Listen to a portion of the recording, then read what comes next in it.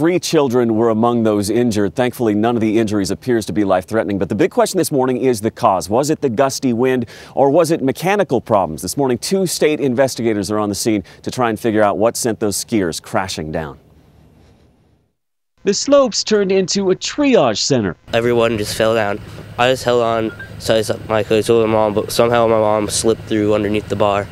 The mountainside cluttered with fallen skiers who just plummeted through the air. My daughter and I uh, immediately went down to start helping out get chairs off from people. High above 150 more skiers stranded on the crippled lift for more than an hour, waiting to be rescued. The broken lift wires dangling overhead. A pulley system eventually brought them to safety. We looked down and there were some skiers who were skiing down and they saw the chair bounce too.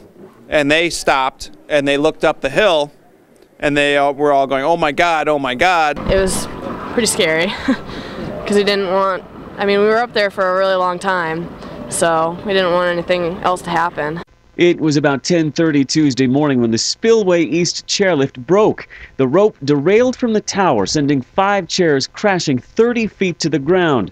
Witnesses say a worker appeared to be in the middle of repairing the lift tower at the time of the accident. We asked a resort spokesman about that. There was a worker on the pole at the time, is that right?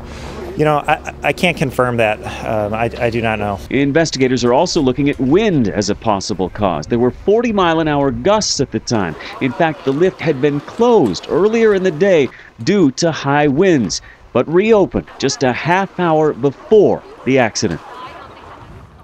The resort had, in fact, admitted in the past that that lift was vulnerable to wind and they wanted to replace it. It was their first priority under a new improvement plan. In fact, they'd hoped to replace the 35 year old lift at the end of this season.